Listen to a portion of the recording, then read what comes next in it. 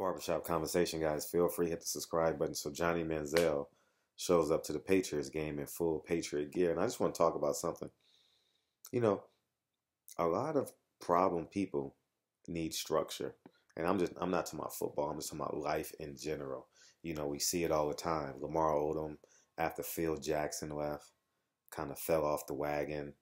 Uh, Johnny Manziel could did anything he wanted in Cleveland per se. Um, uh, Dennis Rodman found structure in Phil Jackson. Um, Lawrence Taylor found structure in Bill Parcells. Um, Allen Iverson found structure in Larry Brown, and I, will stop there. And and that leads me to say maybe Johnny Manziel can find structure in um, New England Patriots because at the end of the day, he's not playing anyway. you know, and if you can, and Robert Kraft, maybe I'm just this is just a hypothesis, guys. I mean, or I don't know what's below a hypothesis. This is not an educated guess. This is just a financial guesstimation.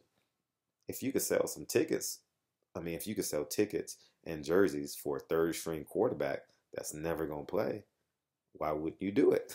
right? Right? He won't be a problem on that team. Not with Tom Brady as quarterback and Bill Belichick as the coach and Robert Kraft as the owner. It's not happening.